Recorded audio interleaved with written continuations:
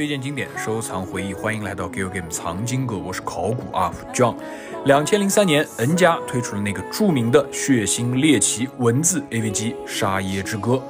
故事讲的是男主凶板玉纪因为一次严重的车祸导致父母双亡，醒来以后发现无论房间还是街道都变成了脏器、肉块堆砌的地狱一般的场景，看见的所有人都变成了蠕动的肉块。这会儿，男主正在和自己的三个昔日好友青海、姚、更斯喝咖啡聊天。然而，在他眼里，不但好朋友都是怪物的样子，连说的话都变成怪物的声音，忽隐忽现。一度预计觉得肯定是自己的头脑出现了严重的认知障碍，直到他遇到了一名叫做沙耶的少女，在这个世界上唯一可以正常看见清秀、美丽、带着淡淡水果香甜的女孩。沙耶就像黑暗里的一丝曙光，照亮了玉纪绝望的生活。很快，他们就同居在一起。虽然玉纪能够察觉到沙耶种种古怪之处，但是他丝毫不在意。这样的生活，直到暗恋玉姬很久的瑶试图表白被拒，青海于心不忍，单独来到玉姬的家戛然而止。那么沙耶到底是什么来历？这些意象到底是怎么回事？这个四人好友团体最后的命运是什么？种种问题让我们迫不及待地试图找到答案。《沙耶之歌》作为虚渊玄大名鼎鼎的作品，从一开场就塑造了一个压抑、烦躁、处处都是恶心的整体氛围。血肉模糊的怪物和你絮絮叨叨，声音忽远忽近，哪怕你潜意识知道这是自己的好朋友，心情还是变得非常矛盾、恐惧、憎恶。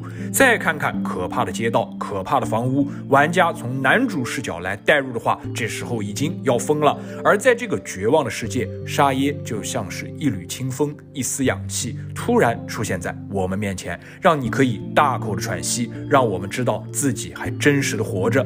其实前面的一切铺陈都是为了这一刻的降临。这时候的预计，除了飞蛾扑火般的爱上这个人，他有别的选择吗？《沙耶之歌》本身就是个争议很大、两极分化也很严重的作品，有相当多的人表示并不能接受。这个不能接受，主要集中在两点。一是对昔日好友的各种冷酷和残忍，二是纯爱党觉得你触手血腥，牛头人觉得你口味太轻。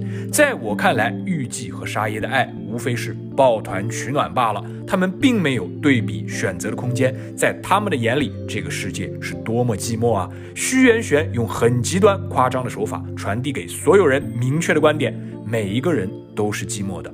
你的沙耶在哪里？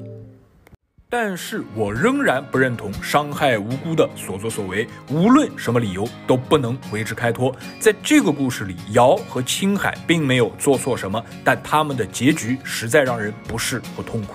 更何况，如果不是因为他们抱有善意，心里有爱，是无论如何不会走到那一步的。原本一个四人友情、爱情并存的温暖团体，最后被残忍的破弃，因为立场不同导致的背道而行、背叛杀戮，让很多玩家无法接受。同样在情理之中，所以本作的代入方向就变得非常困难。两极分化、对立的视角，无论你代入哪一边，都觉得矛盾无比。综上所述，《沙耶之歌》我给七十九分，一个让人非常纠结、很难说明对错是非的作品。众所周知，我是非常喜欢老虚快节奏叙事风格的，短促快平的高潮输出总是能够撼动人心。本作依然延续了这个传统，但长度实在是太太太短了。老徐其他作品的短，比如《地狱通缉犯》，我们会觉得这样的精彩让人意犹未尽。本作的短却有一种让人解脱的无力感。三个结局没有记忆，虽然在老徐这里也并不奇怪，但是回归正常生活的第一个囚徒结局，相对让我更易于接受。一门之隔，一世之隔，我们从未见过沙耶的本体，就让那些美好永远存于记忆中吧。《沙耶之歌》在 Gale 界名气大、传颂广，感受却是千人千面。有人看到的是纯爱少女出手怪，有人看到是克苏鲁，有人解读成疯狂扭曲的爱，有人理解为只有脑子摔坏了才会愿意和丑逼在一起。我想，正是因为每个人都有自己对这个作品的切入点，得到不同的游戏体验，才会让这个短片作品脱颖而出，广为人知吧。如果观众老爷们有自己的解读，非常欢迎弹幕或者留言说说你对这个作品的感受。如果你还没有玩过这个作品，就冲着有高清步兵版，牛头人们也应该放手一试嘛。往期本频道所有视频评分统计表在我的动态置顶里可以查看。如果您喜欢这个节目，请一定要点订阅，打开小铃铛，给个三连。我们下期节目再见。